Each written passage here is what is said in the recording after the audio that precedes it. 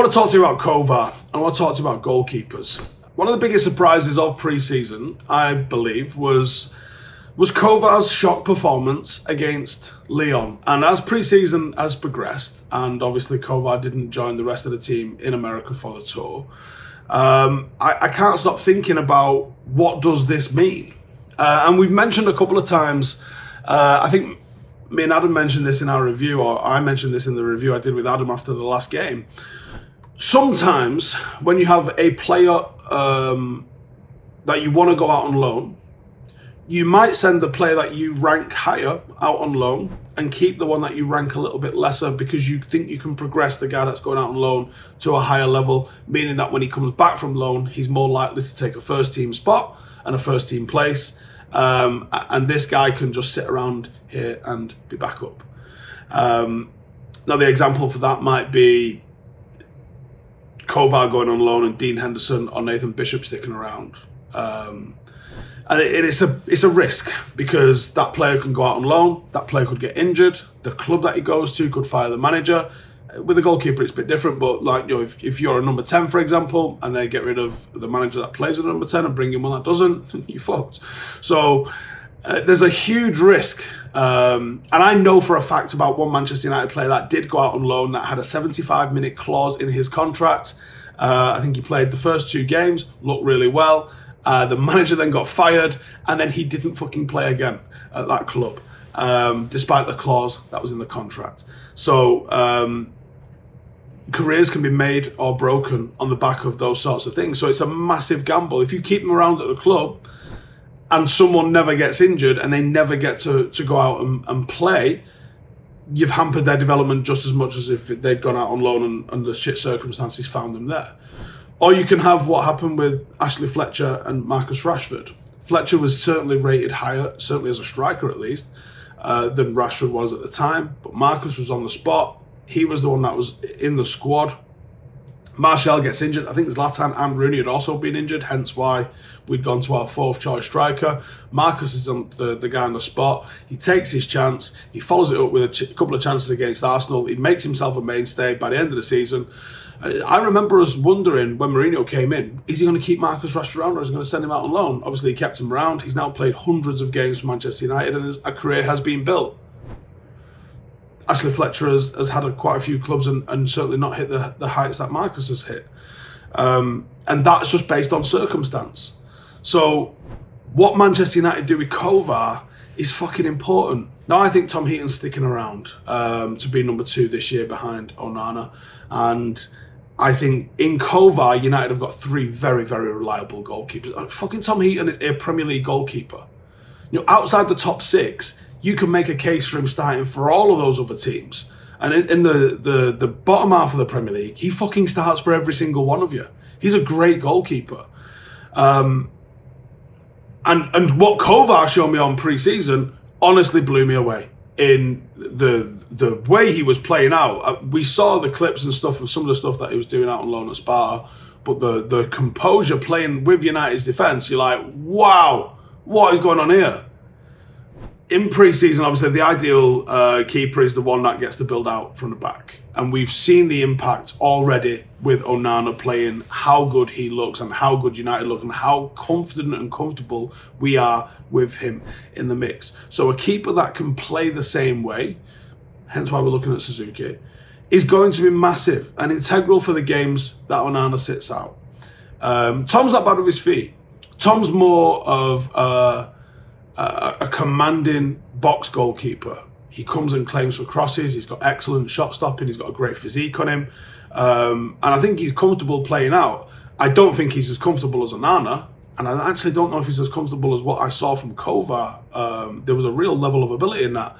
Um, I, I, think he's just an excellent bit of an all-rounder of a goalkeeper.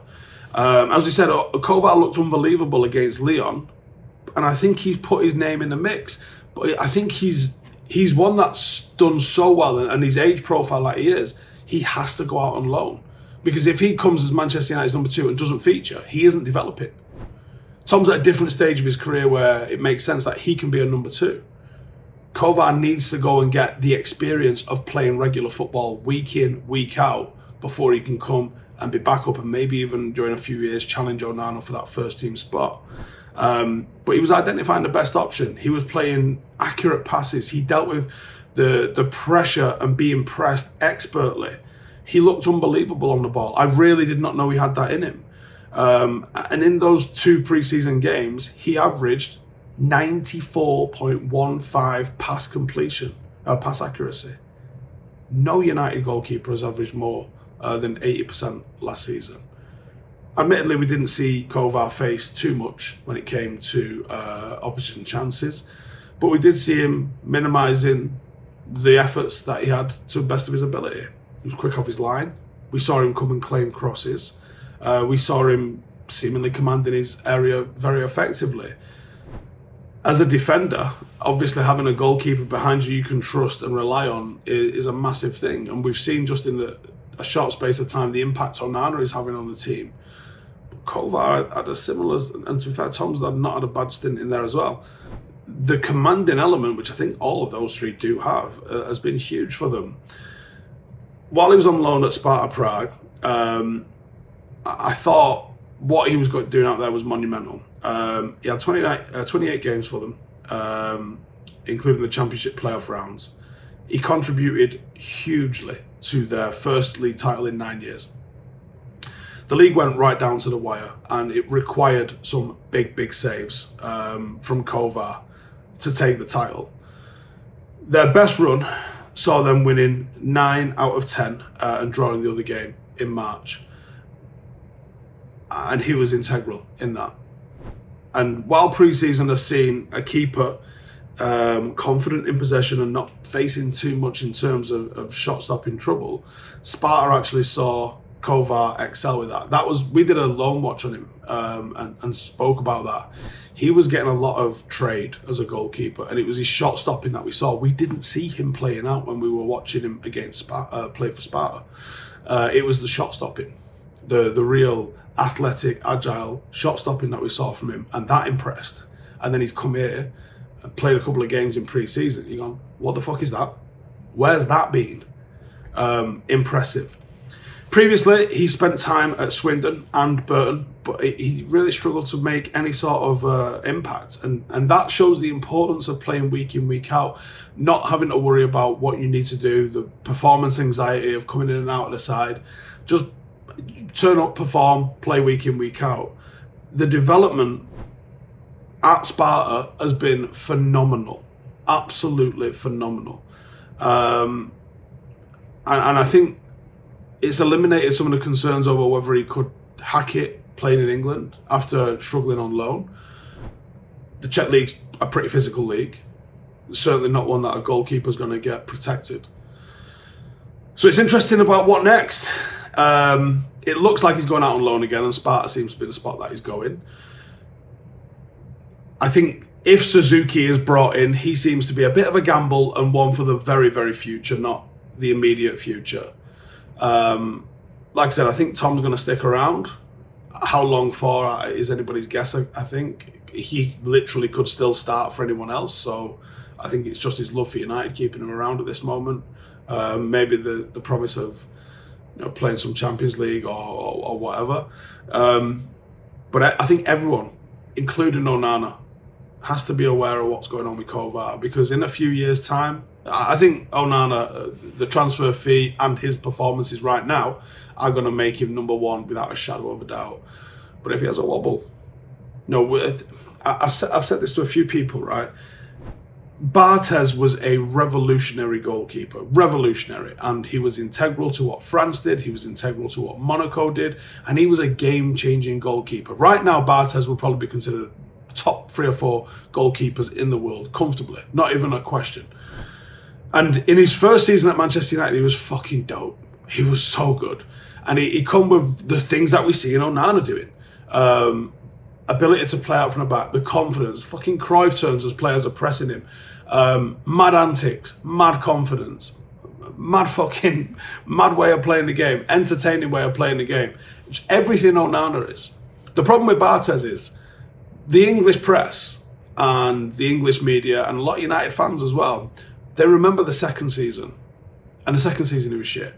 I don't know what happened, but he started to become calamitous. The the antics lose their uh, shine when they lead to so many mistakes. You have to be successful if you're going to have the the sort of mad confidence that Barthez displayed and, and Onana displays. Um, I think Barthez is done a disservice by the English media and by English fans. Barthez was fucking incredible. Um, genuinely, genuinely, genuinely incredible. Um, and it's the second season that lets him, lets him down. And I'd love to know what happened because he was truly, truly great. And and it, it's probably tainted the legacy of how good a goalkeeper he genuinely was because he was legit. Um, but I think there is a pathway through to Kovar becoming Manchester United's first choice goalkeeper. You know, Onana's certainly not old, um, but Kovar is younger, and uh, you know he has an opportunity that if it goes the same way it went for Barthez, even if he has a season two, three, four, Kovar just needs to be there to be able to swoop in and take that off him. You can be a little bit more patient with goalkeepers because they don't get the opportunities to play as young as, as a winger or a fullback does.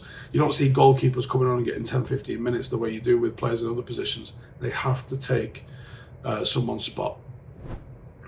And that's how it goes down. So, let me know your thoughts. I was very, very impressed with Kovar. Um, and I think he goes out on loan again. And I think Sparta Prague get a lot more United fans going. Let me just have a watch of uh, how he's getting on there uh, because he looked dope. Um, but again, let me know your thoughts in the comments. I'll see you in the next one. Laters.